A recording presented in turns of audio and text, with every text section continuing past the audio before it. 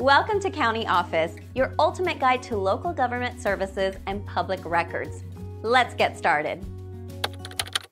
How to respond to a restraining order. Receiving a restraining order can be a daunting experience. Understanding your rights and responsibilities is crucial. First, review the order carefully. Pay attention to the specific terms outlined. This includes the duration and the restrictions imposed.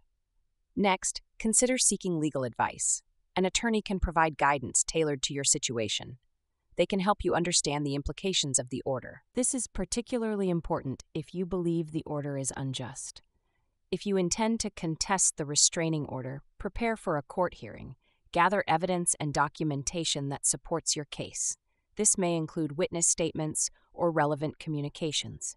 You must file a response with the court by the specified deadline.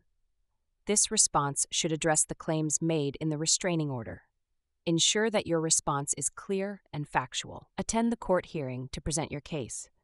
Be respectful and follow court procedures. Your demeanor can significantly impact the outcome. Finally, if the order is upheld, comply with its terms. Violating a restraining order can result in legal penalties.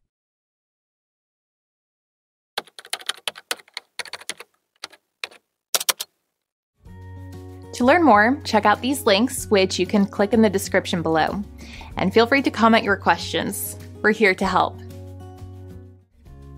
Thanks for tuning into our video. Please like and subscribe and leave a comment below. See you in the next video.